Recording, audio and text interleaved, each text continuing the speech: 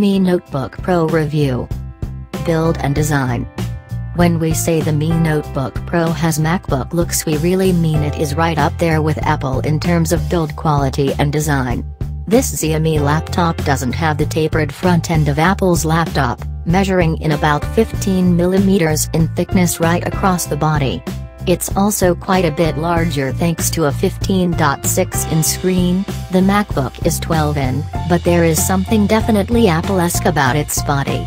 This extends even to the USB-C port on the right edge, you get two of these, though one is reserved for charging.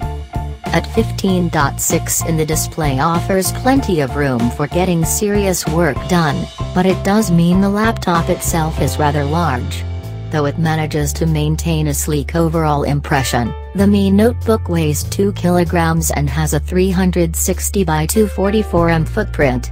You're not going to want to cart it around more than you have to. This is an IPS panel, which provides punchy yet realistic colors and decent viewing angles.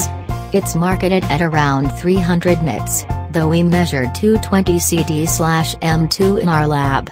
This is plenty bright for a laptop display, and contrast is also good. Hardware and performance. Xiaomi really pulls it out the bag when it comes to performance.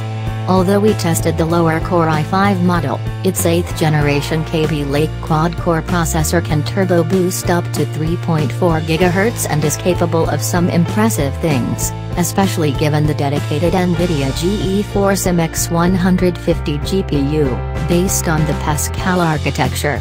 The Mi Notebook Pro is able to switch between this and the integrated Intel UHD Graphics 620 when required.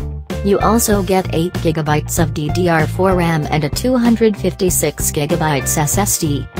To test battery life we set the screen brightness to 120 CDM/2 and run a video on a loop. The Mi Notebook Pro managed 7 hours 59 minutes in this test, which is not outstanding but also a long way from the worst we've seen. The HP managed 12 hours 20 minutes by comparison. When the battery is depleted you can recharge the laptop in less than 2 hours using the included 5V 3A USB-C charger. This has a 2-pin plug, so you can either ask your best to supply you with an adapter or purchase a UK USB-C laptop charger.